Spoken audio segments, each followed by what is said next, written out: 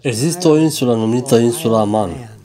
Pe această insulă există un părâu mai jos, iar femeile poartă o centură cu care ele merg jos și au două găleți cu apă și apoi urcă acolo sus la casele lor, unde fierb și gătesc mâncarea.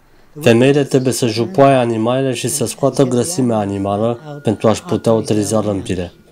Și dacă cineva le-ar spune femeilor, într-o zi veți întoarce un dispozitiv și apa va curge la ce viteză veți vrea voi, fără să mai fiți nevoite să coborâți până la râu.